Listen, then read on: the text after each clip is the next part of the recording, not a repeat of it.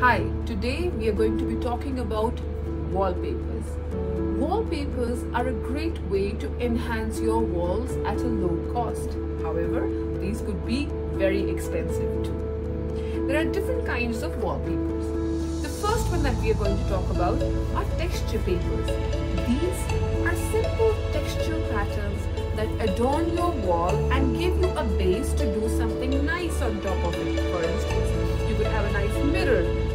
nice painting and have a texture paper at the back. That's the first kind. The second kind of paper are geometric pattern papers. So chevron patterns, um, you could have a brick pattern, you could also have wooden planks. So these provide a lot of depth to the wall. So if you have a very big room, what you can do is go for these geometric patterns as they make a statement. Third, third kind of papers are floral papers.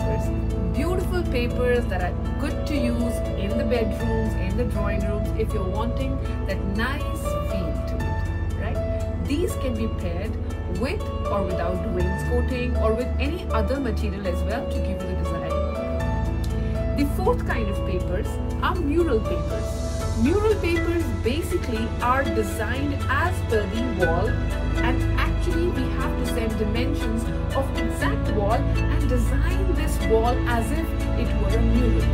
There are different kinds of mural papers too and their application is not limited only to walls. You can apply these with partitions also, you can come up with newer things and design your own new murals with these papers. The fifth are 3D papers. Now these are papers that you should know designer how to use. If you use them correctly, you get that wow 3D feel and the whole room looks wonderful. I hope this was a nice information that you got on papers and it would be useful for you to enhance